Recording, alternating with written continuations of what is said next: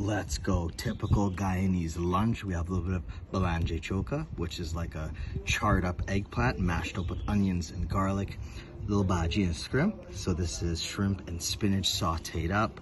We have mango curry. Can I add that there's a mango tree right there in the distance? Coconut choka, my favorite thing that my grandmother would make for me. This is grated coconut with spices and heat, little fried fish, and let's not forget, cup of dal.